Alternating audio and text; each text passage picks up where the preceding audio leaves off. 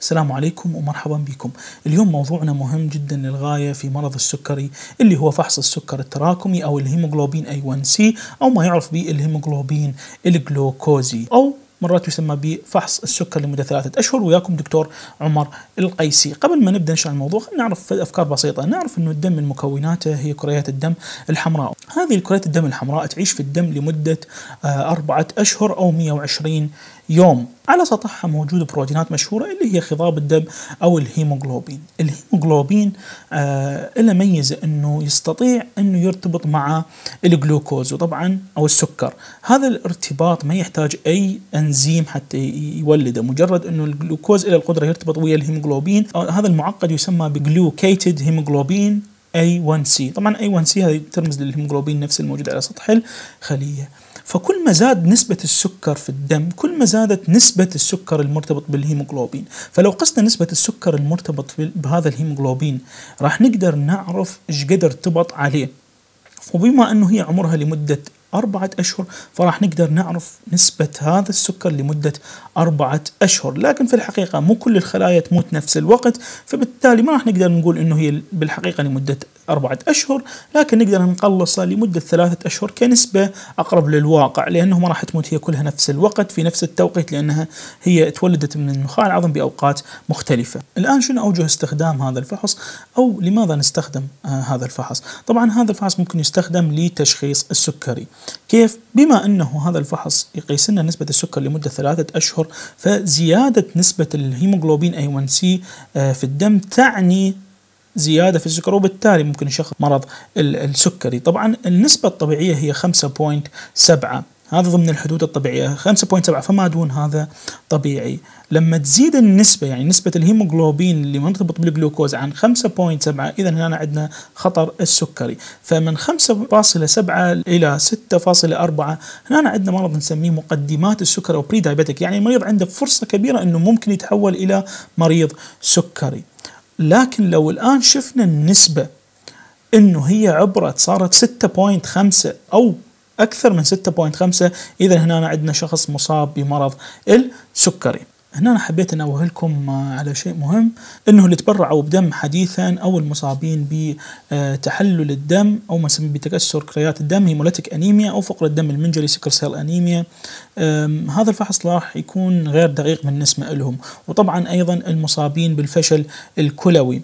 يعني مو إنه الشرط إنه يكون السكر زايد بالدم بس ممكن الفشل الكلوي ادى لنا لزياده هذه النسبة وأيضا هذا لا يعتبر فحص مثالي في تشخيص سكر الحمل أو ما يسمى بال gestational diabetes ولذلك راح نستخدم فحوصات ثانية لتشخيص سكر الحمل. طيب الآن شنو الأوجه الثانية لاستخدام هذا الفحص؟ طبعا هذه النقطة الثانية هي نقطة مهمة أيضا نستخدم هذا الفحص لمتابعة نسبة سكر الدم لمدة ثلاثة أشهر من خلال هذا الفحص راح نقدر نعرف مدى التزام المريض بالعلاج اللي دا ياخذه.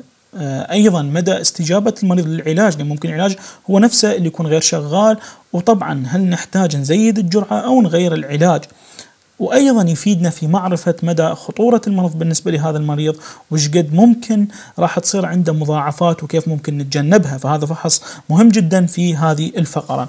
نتكلم شوي عن آلية الضرر أو damage mechanism لتراكم السكر على الهيموغلوبين. طبعا هنا أيضا تراكم السكر في الدم عنده آليات ثانية للضرر أيضا كمرض السكري نفسه.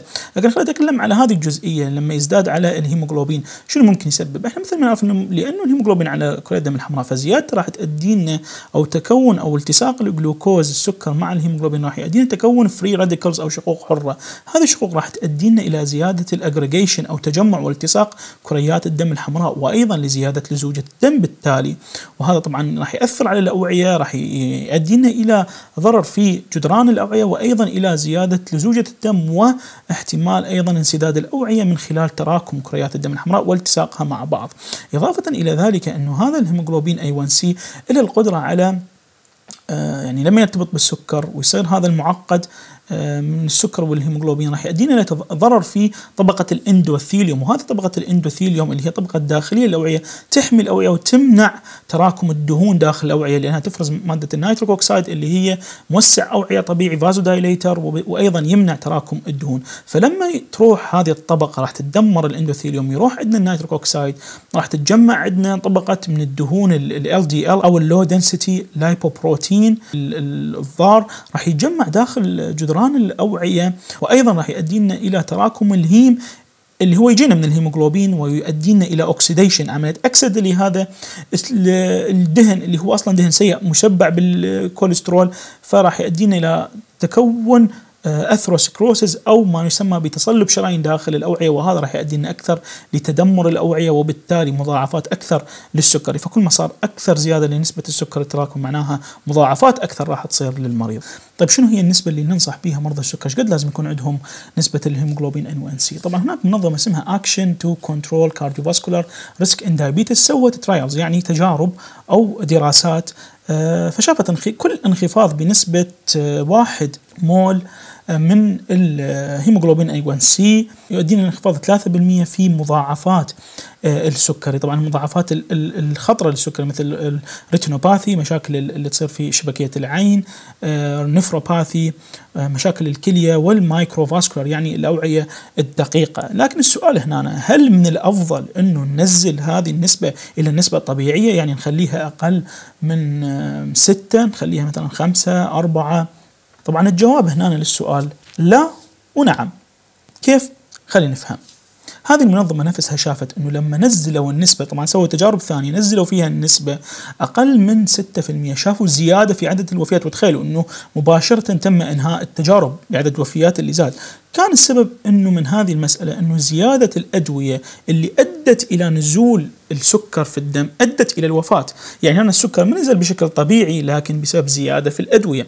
فإذا كانت زيادة الأدوية هي اللي راح تؤدي لك أنه وصول الهيموغلوبين أي سي النسبة القليلة اللي هي ستة فهذه هذا الأمر لا يعتبر شيء مثالي بالعكس ممكن يؤدي لك إلى العكس إلى المضاعفات أكثر. لكن لو كانت هذه الزيادة باستخدام علاج بشكل صحيح بالجرعة الصحيحة مو الإفراط فيها وأيضا باستخدام أمور ثانية منها تغير نمط الحياة وال diet وال exercise وغيرها وأدى لك إلى هذه النقصان أو هذا النقصان فهنا يكون لك الأمر طبيعي، لكن بالنهاية إنه توصل لأقل من ستة كمريض سكري هذا الشيء لا يعتبر شيء صحيح لأنك راح تستخدم أدوية فوق اللازم، طيب كم لازم يكون بالنسبة لك كمريض سكري ال target أو الهدف اللي تريد توصل؟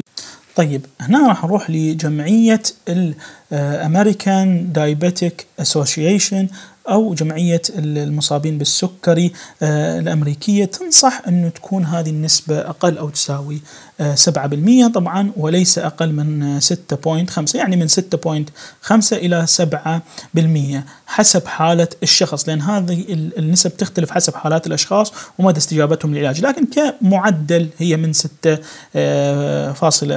إلى 7% فهذا لازم يكون ال target للمصابين بمرضى السكر. تختلف بالنسبة للنوع الأول والنوع الثاني ما راح أقدر أبين كامل مجمل الاختلافات في هذا الفيديو لكن حبيت أوضح هذه النقطة. طيب لأنه حبيت تعرف كم كان معدل السكر خلال الثلاثة أشهر من خلال الهيموغلوبين A1C نقصد أنه لو جيت في هذه ثلاثة أشهر في أي يوم من هذه الثلاثة أشهر أخذت سكر كم كان راح يطلع لك السكر في الدم؟ إيش قد كانت راح تكون نسبة السكر في الدم من خلال أنه أنت عرفت الهيموغلوبين اي 1 سي طبعا هنا أكو معادلة حتى نحسب كم كانت هذه النسبة. طبعا هنا تختلف من خلال اليوم نفسه من الصباح للمساء لكن هذا كمعدل كم كان السكر في اليوم. يعني كشكل تقريبي إيش قد ممكن يكون كان السكر في اليوم. هذه عندنا هنا معادلة لحساب اللي هي 28.7 في نسبة الهيموغلوبين A1C ناقصا آه، 46.7 طيب الآن لنفرض عندنا شخص عنده A1C 7% فراح نسوي المعادله ونخلي 28.7 في 7% ناقصا 46.7 والجواب راح يكون 154.2 آه، فهذا راح يكون معدل السكر خلال اليوم في هذه الثلاثة أشهر. طبعا ممكن يختلف شوية لكن هو ما يقارب هذا. لو جينا في هذا أو أي يوم من هذه الثلاثة أشهر راح نلقى تقريبا السكر يكون بهذا ال range. فهذا الحساب طبعا بالمليغرام على دي سي لتر طيب الآن كيف نقدر نخفض نسبة السكر التراكمي الهيموغلوبين A1C أول شيء نقدر نسويه هو الاعتماد على نظام غذائي صحي. طبعا نتكلم عن ال diet اللي دا يسويها المريض. آه لازم هذا النظام الصحي يحتوي على fibers أكثر ألياف أكثر بالطعام و ندخل غذاء صحي وأيضا ممكن نستفاد من بذور الكتان لأن تحتوي على الأوميجا 3 طبعا بكميات معقولة مو زيادتها ما راح تؤدي لك إلى هذا المستوى المطلوب ممكن إلى أضرار جانبية فتذكروا بكميات معقولة لكن القصد الاعتماد على نظام صحي جيد يحتوي على دهون غير مشبعة وأيضا ينطينا طاقة.